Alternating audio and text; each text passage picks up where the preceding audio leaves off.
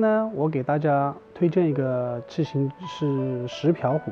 石瓢壶呢，大家呃应该是玩壶的人应该是非常熟悉啊，在市面上有各式各样的石瓢。今天我给大家推荐的一个石瓢壶呢，是叫新洲石瓢。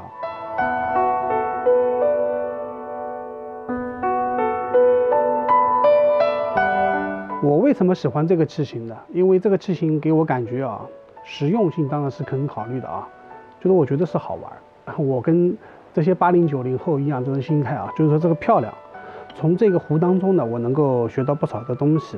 和新洲是谁？很多人会问，在我们的心目当中的高手之一，他是应该在清代道光年间到清代嘉呃光绪的时候这么一个高手，在玉成窑的时候呢，设计跟创作了这个器型。玉成窑呢是在晚清时候，应该是在光绪左右的时间呢。集合了大量的一些文人，在我们浙江的宁波所创作的一个窑口玉成窑，玉成窑所出的一些器型，包括一些作品，必是精品。所以，我们今天呢，也是做一个木鼓啊。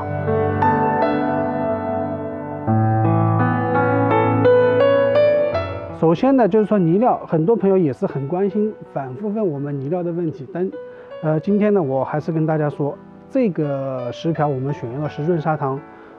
库藏沉浮五年以上的老紫泥，这个老紫泥以前在紫泥的巨人珠当中有介绍过。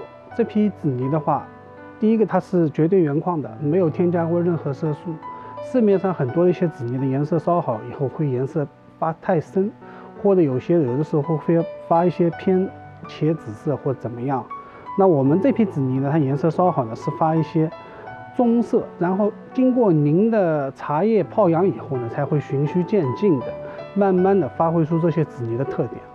紫泥呢，它的这种养成以后的水色呢是非常温润的，所以说从古至今呢，紫砂壶、紫砂壶、紫泥这一块呢是比较看得重的，因为紫泥呢，呃，它包容性也比较强，它能够适合泡各式各样的茶。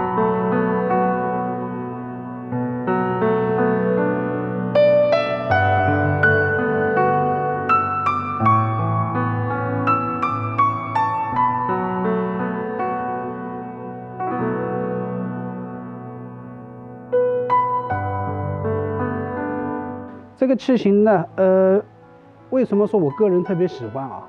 其中有很多原因。第一个就是我们看整体一个造型上，这个造型呢，第一个就是说是它不显锐感。以前古人选材呢，都是选生活当中一些实用的一些题材取样，底部比较大，口子比较小，有一种锁住茶气跟包容一些东西。一旦倒水，它就呈现一种三角形的立体感，出水的接触会非常的好。不管是你是。喝喝什么茶，然后出水这块是看的比较重嘛，所以石瓢这个器型呢，很多玩壶人会看的比较喜欢。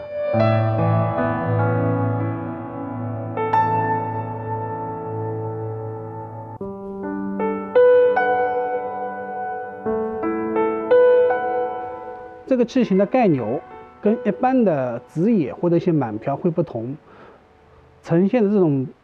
高度不是太高，然后呢，修饰的各方面都还比较好，整个器型配合呢，就是你放在茶盘上或者茶桌上的，退后四五步一看，它比较沉稳，啊，比较搭配的和谐协调，壶的还是它的流嘴，比较有力度的一个挺拔，然后口子上做了一个小的一个圈嘴，它这个用意呢，它可能是把一些锐角给收敛起来，然后增加了一些视觉上的一些效果，就哪怕今天来看。我觉得这个效果还是非常好的。一个壶把的设计呢是比较，也是呈现一种比较比较实用的搭配啊。所以说我是觉得这个器型呢，理论上说是应该实用、美观，包括从各方面来看啊，都还是耐品味的。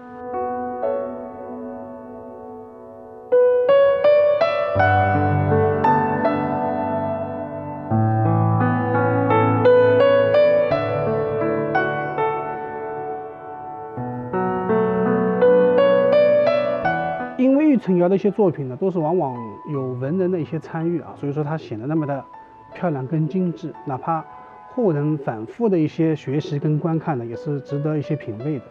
关键在于刻绘。新洲石瓢呢，也找了一些当代的高手，一定是我们润砂堂选中的木骨类的高手，纯手工去刻的。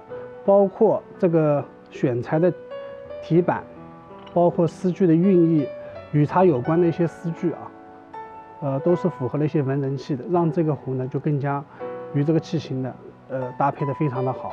我们这次还给大家配备了一个这个器型的一个光束器，光束器的话，呃，也是非常的漂亮。如果有喜欢这些光束版的朋友，也可以做一个选择。